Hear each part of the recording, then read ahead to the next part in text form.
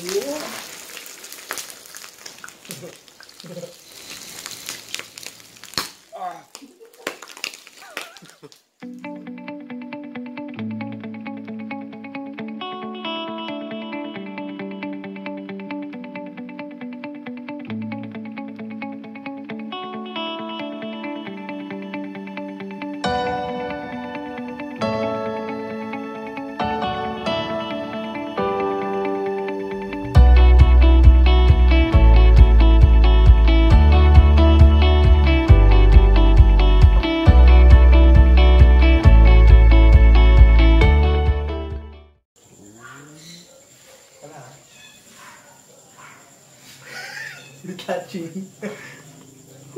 Whew, retouching. Siyempre, kailangan mo mag-retouch pag nag-shoot ka, di ba? Para bawas effect. Hi guys! Magandang gabi. Welcome to Gastroboy TV. Nandito na naman tayo sa kitchen natin para gumawa ng isa sa pinakamadali pero laging na-overlook na dish ang Loming Batangas. Pag sinabing Loming Batangas, maraming variations yan. So, depende kung nasaan ka. So, depende ang Lomi sa bayan. Kung nasaan ka, sila magde-decide kung anong toppings ang ilalagay nila. So, ngayon, viral na ngayon yung mga nag-uumapaw na Lomi topping. So, ngayon, gagawa lang tayo na something light. So, ang base natin is chicken and then pork. And then, few vegetables. And then, makikita nyo kung anong mga ingredients. So, ang mga ingredients na kailangan natin para sa homemade lomi natin is, syempre, ang lomi noodles or egg noodles. Kung masipag kayo, pwede nyo gawin yan.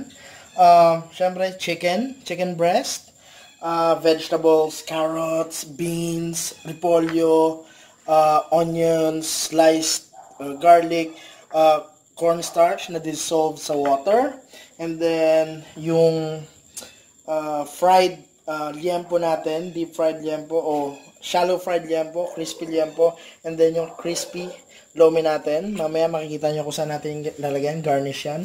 And then, if necessary, pwede naman kayo gumamit ng uh, nor para makasave ng time. Siyempre, chicken cubes. Mas makakasave ng time yan kesa gumawa ka na sarili yung broth. Pero para mas ma-intensify yung flavor, gagamit kami nito. So, let's start cooking! Okay. So, magsisimula na tayo magluto. Siyempre, magigisa muna tayo ng onions.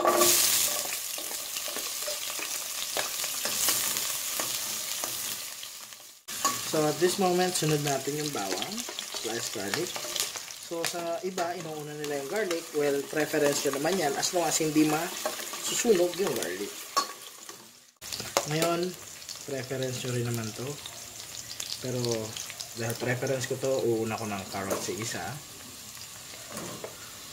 So, yung iba gusto crunchy yung carrots.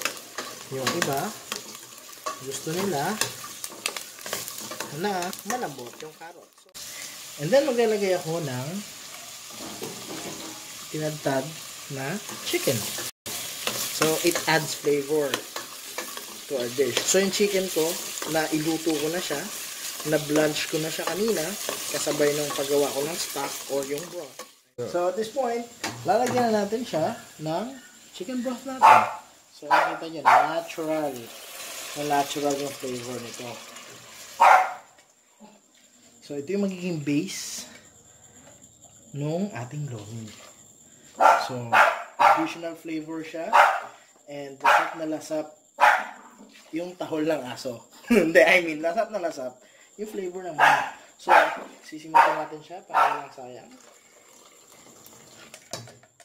So, sa another additional flavor, ito naman yung pinakul ako sa natin pinakuluan yung pork na pinita natin. So, additional flavor profile na naman siya. So, ang combination ng pork at chicken, nothing can go wrong with that. So, bubuksan na natin ang ating pinakuluang broth. Mm, kung, kung nandito lang kayo, maaamoy nyo talaga yung uh, chickeny, porky flavor. So, kumukulo na siya. Ang ilalagay natin sa Coco, dahil tahol siya, ng, tahol siya ng tahol, si Coco na ilalagay natin. No, sige, ilalagay na natin yung noodles natin. Ito yung ating tawagin ni Lomi.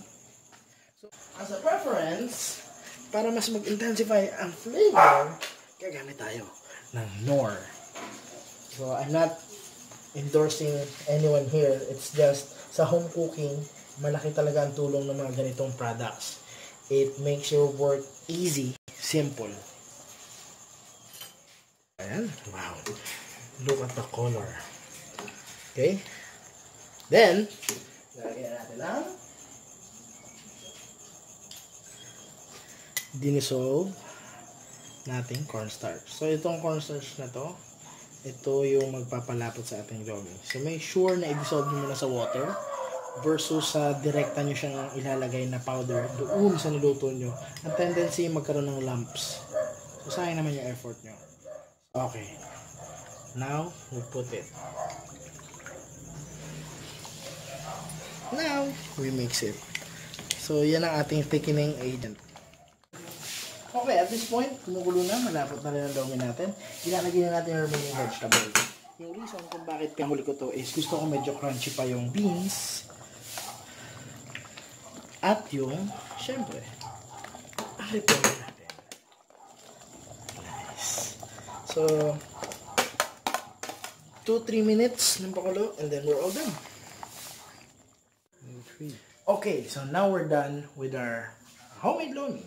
Meron tayong crispy pork belly, meron tayong blanched chicken breast, and then crispy-fried lomi noodles, and then yung ating crispy chicken, it adds additional flavor. So, ganun lang kadali gumawa ng lomi. So, ano pa hinihintay natin? Abay, kita kumain na. Kaya gutom na gutom na ay. Luming-luming aray.